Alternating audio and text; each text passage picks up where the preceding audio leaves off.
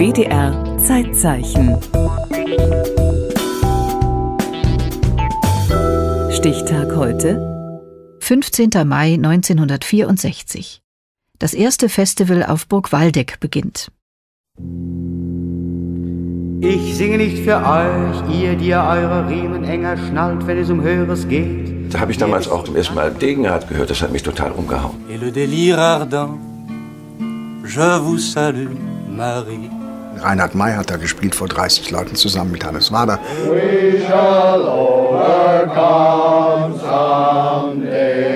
Eigentlich war es so ein bisschen deutsches Woodstock, wenn man so will. Ne? Manchmal träume ich schwer und dann denke ich, es wäre Eine schöne, freie Welt, die sich dort im Kleinen abspielt, für ein paar Tage nur. Zehntausend kleine Negerlein, die haben die Welt verwandelt. Und da kassierte ja das Wort Gammler. Wir haben selten so viele Klampfen gesehen wie hier. Das erste Festival auf Burg Waldeck, das bedeutete für uns die Realisierung eines Traumes. Ja, das war ein Volkslied und wenn's euch beliebt, grabt doch eins aus und dann wird geübt. Ja, la la la la la la la la la la la la la la Burg Waldeck, weit hinten im Hunsrück, rund 50 Kilometer südwestlich von Koblenz. Vor uns ist das tiefe Beibachtal und auf der anderen Seite ist diese Bastion, die etwas erinnerte an Machu Picchu. Hein und Oss Kröhr. Das ist ein ungeheuer schönes Bild. Wenn man da steht, sieht da drüben diese verzauberte Burg liegen. Da, wo der Hunsrück seine tiefsten Täler und seine grünsten Wälder hat, treffen sich doch sehr zeitbetonte Liedgutpfleger. Hunsrücker Zeitung 1964. Jeder, der dorthin kam, hat erstmal die Burg gesucht. Hannes Wader. Burg Waldeck, wo ist denn die Burg? Es gab keine. Es gibt da noch Reste von einer Ruine. Aber trotzdem hat dieses Gelände eine Art von, ja, von Magic. Es übt eine Magie aus, tatsächlich. Sie fingen ja an, diese Festivals in der finsteren Zeit der Adenauer-Regentschaft, nicht? Franz Josef Degenhardt. Wo wir alle fürchterlich litten unter diesem Mief, unter diesem Kleinbürgertum. Nein, dieser Raubvogel ist nicht mein Wappen, die Klauen der arischen Gier. Die Fahnen, Sutane, die alten Attrappen, die stinken nach Dummheit und Bier. Walter Mossmann. Bleibt mir vom Hals mit der Verwandtschaft, Obrigkeiten aus drei Reichen, mit der romantischen Urväterlandschaft, mit diesen vermoderten Eichen. Die Lieder der 50er Jahre waren doch überwiegend Schlager billigster Sorte. Ja. Rote Rosen, rote Lippen, roter Wein, Mariandel, Landel, Landel am Wörthersee und weiß Gott was. Dann hängt das einem ja zum Hals raus und man sagt, ja, ist das denn alles? Ich hatte auch immer so das Gefühl, Lothar Lechleiter von Schubert und Black. die Leute, die schämten sich Deutsch zu singen, weil es keine vernünftigen Texte gab damals. Tot sind unsere Lieder, unsere alten Lieder. Ja, mit dem deutschen Volkslied ist es schwierig, nicht? Das Dritte Reich hat es sehr stark für seine ideologischen Zwecke eingespannt. Dieter Kerbs, Begrüßungsrede 1964. Alles dies macht, glaube ich, das Volkslied für die moderne deutsche Jugend etwas äh, schwierig, um nicht zu sagen Suspekt. etwas verdächtig. Lehrer haben es sie zerbissen, kurz behoste, sie verklampft. Braune Horden totgeschrien, Stiefel in den Dreck gestampft. Die Burg Waldeck hat sich nach dem Krieg unter den Wandervögeln, unter der bündischen Jugend rumgesprochen als der kulturelle, schöpferische Platz, wo man im Adenauer Deutschland nicht nur Vigotoriani hört. Die Gedanken sehen frei, wer kann sie erraten? Sie eilen vorbei wie nächtliche Schatten. Ein sehr deutsches, romantisches Prinzip, nämlich der Weltabgewandtheit, der Naturzugewandtheit, wie es in der bündischen Tradition verankert ist, das traf auf der Waldeck zusammen mit den neuen internationalen politischen und kulturellen Einflüssen, mit der Weltpolitisierung der studentischen Jugend, der Intellektuellen. Wir haben uns gefragt, warum wir eigentlich in Deutschland keinen Georges Brassens, keinen Yves Montand, warum wir in unseren Breiten keinen Burl Ives und keine Joan Baez haben. Dylan spielte eine große Rolle, für mich auch eine große Rolle. Dann kam der Vietnamkrieg, der von immer mehr Menschen, besonders von Jugendlichen in aller Welt, als ungerecht empfunden wurde. Call it peace or call it treason, call it love or call it reason, but I ain't marching anymore. Wir waren sehr stark konservativ geprägt, auch vom Elternhaus her. Hans Dietrich Bömmes Moor. Und plötzlich hörten wir hier Töne, die für uns neu und unbekannt waren. Eine unheimliche Faszination. Wir waren darauf nicht vorbereitet. Das hat uns auch gewissermaßen überrollt. Spiel nicht mit den Schmuddelkindern, sing nicht ihre Lieder. Geh doch in die Oberstadt, mach's wie deine Brüder. Eine Welle der Begeisterung für keckes Singen hat die jungen Leute in der Bundesrepublik erfasst. FAZ 1966. Längst sind es nicht mehr nur Einzelne, die da ihre amerikanischen Götter anbeten. Mögen sie Bob Dylan heißen oder Joan Baez. Ja, es gibt wieder eine Generation und sie hat manche Ähnlichkeit mit vorangegangenen großen Generationen der Romantik oder des Expressionismus. Beunruhigend aber ist, diese Generation sucht den Protest. O Schornsteinschlot, Zeigefinger des Wohlstands, du rauchst nicht knapp. O Toten des Reichtums, Schlot brich nicht ab, brechest du ab, du hohe Esse, verlöre Vater seine Mätresse, zöge der Butler eine Fresse, würde die Firma exkommuniziert auf der heiligen Frankfurter Messe. Ich habe gesagt, dass die 68er Bewegung nicht aus dem Vakuum entstanden ist. Das heißt, dass die Sensibilität der Künstler vorher schon gespürt hat, dass sich etwas regt in den westlichen Industrienationen. Feuer, Vorsicht, man legt Feuer. Fasia Jansen. Ein Atomminengürtel wird geplant. Geht auf die Straße und schreit Feuer. Feuer, unsere.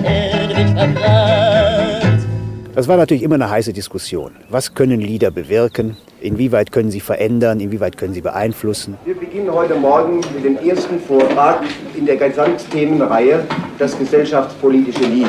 Die Frage ist, wie können sich Lieder im Inhalt und in ihrer Verbindung mit gesellschaftlichen politischen Aktionen davor schützen, auf diese Weise integriert zu werden. Ich singe nicht für euch, ihr vollgestopften Allesfresser mit der Tischfeuerzeugkultur, die ihr grinst, wenn ihr an damals denkt, wie über einen Herrenwitz. Und nicht für euch, ihr, die nur lebt, weil hier zu viel und anderswo zu wenig Brot herumliegt. Nein, für euch nicht. all die freundlichen Gesichter, und es war gut ein Lächeln zu sehen. Wie Freunde, wie Komplizen waren wir. Hatte meinen Weg gefunden, sie gaben mir Mut hinzugehen und mir und meinen Liedern ein Quartier. Als keiner an mich glaubte, außer ihnen und mir. Mit den Medien, Fernsehen, Funk, Presse, kam natürlich auch das Interesse der Plattencompanies. Plötzlich wimmelt es da von, von Schallplattenproduzenten. Stört und kümmert mich nicht, vielleicht bleibt mein Gesicht doch dem ein oder anderen im Sinn. Klar, ich habe dann gesagt, ich mache das zu meinem Beruf. Entweder ich komme damit klar oder ich verreck. Ist mir egal. Ich mache das.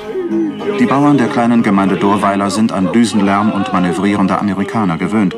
Jetzt haben sie noch Gesang und Gitarrenmusik zu verkraften. Nun kamen die ersten mit langen Haaren und man war da ein bisschen äh, skeptisch. Was kommt da auf einen zu? Frau Neumann aus dem Nachbarort Dorweiler. Und da grassierte ja das Wort Gammler. Von der Bevölkerung des Umfeldes hier im Hunsrück wurde das eigentlich mit sehr viel, ja, ich würde sagen, Toleranz ertragen, was sich hier abspielte. Man wurde bekannt, eben auch mit Künstlern. Ja, wie der Reinhard May, der Hüsch war hier.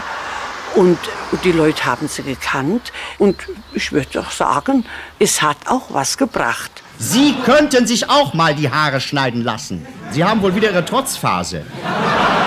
Ich kann Ihnen ja nicht sagen, das ist ja diese Demokratie, das ist ja dieser amerikanische Einfluss. Ich meine, nicht, dass wir ständig mit Blumen im Haar rumliefen, aber diese lyrische Freiheit, die über allem lag und die Großzügigkeit, die wir alle ausstrahlten plötzlich, die hat dem Ganzen einen ungeheuren Charme verliehen. Die politische Kultur dieser Zeit hat natürlich auch eine Subkultur mit sich gebracht, die auch aus Amerika kam, die Hippie-Kultur. Das Dorf war ein katholisches Dorf und da hat man das doch schon ein bisschen äh, als ungezähmend empfunden, dass da unten sich wer weiß was und auch die Fantasie hat denn auch da mitgespielt. Workshop 3b Sexualität im Lied. Orgasmus ist ein schönes Wort. Orgasmus klingt von Ort zu Ort in Kolles Wunderland. Wie kommt es, ähm, dass zum Beispiel die Onanie und der Orgasmus nicht nur verbal, sondern auch in der Tat ganz erheblichen Verklemmung unter, äh, ähm, ähm, unter, unterzogen wird und dass selbst in der Linken der Koitus und diese ganzen Probleme keinesfalls gereinigt sind. Und dann ist das da ziemlich aus dem Ruder gelaufen bei den letzten beiden Festivals. Zwischentöne sind bloß Krampf im Klassenkampf. Das Wort Arbeiterklasse tauchte jetzt oft auf, ohne dass jemand wusste, was das war. Es gab ja keinen Arbeiter dort. Darum Arbeiter, Studenten, findet schneller zueinander. Eure Mehrheit wird gebraucht in dieser Zeit. Es ist eure Zukunft, die gestaltet wird, wenn ihr nur einig, einig eine starke Klasse seid. Ich frag noch mal, wer hat denn mal vom Betrieb gesungen? Die Antwort darauf fällt mir schwer. Und 68 war es so, dass ich mit einem neuen Programm kam und auf einmal fing man an zu buhen und zu pfeifen und aufhören. Wir wollen diskutieren. Wenn Sie nicht zuhören wollen oder können, hätte man vielleicht doch eine Tombola machen sollen, nicht wahr? Aber hm, dann wollen wir aufhören, was wollen wir machen? Wir wollen Diskussion machen. Ja, Diskussion. Ging so weit, dass man gegen manche Kollegen so richtige Tribunale erstellte. Zum Beispiel der Rolf Schwenter, der hat ein Tribunal eröffnet gegen Hüsch. Sag einmal, ähm, Hans-Dieter Hüsch, wie fasst du deine Aufgabe auf? Ich habe auch gehört, dass sie links sein sollen, aber da scheint es sich äh, ohnehin um ein populäres Vorurteil zu handeln. Äh, denn so gesehen. Das Ende der Waldeck war sicher nicht aufzuhalten. Die Zersplitterung aller Gruppen, der antiautoritären Bewegung, der Studentenbewegung, das hat sich damals schon auf der Waldeck so abgezeichnet. Dieses Geschwätz von der Freiheit des Einzelnen. Ich habe damals ein Lied gemacht, das hieß Liedermacher, auch als Reaktion auf die Diskussion auf der Waldeck. Jakob und Emmy sind jetzt mit ihren Liedern wieder engagierter geworden. Ich sehe die kulturhistorische Funktion der Waldeck Festivals so, Und bekommen dafür demnächst den Erkenn dich doch selbst mal Orden. dass nach diesen sechs Jahren die Sache gelaufen war, weil sie erfüllt war.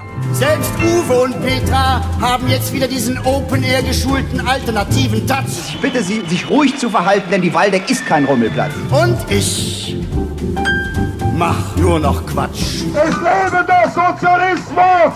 Hey, Delirium, Delarium, Delirium, Delarium, Löffelstiel. Was später kam, Lindenberg, Wecker, Bapp oder Grönemeyer, Ja, die Weltgeschichte ist doch ein äußerst vielseitiges schöpferisches Spiel. ohne uns müssen sie immer noch weiter Englisch singen. Mal Folter, mal Frohsinn, mal Frohsinn, mal Folter auf jedem Gebiet. Eigentlich war es so ein bisschen deutsches Woodstock. Und dazu dann, meine Damen und Herren, das passende Lied, ja. Sollen wir hier abbrechen und die Arschlöcher sollen ihr Fest hier machen.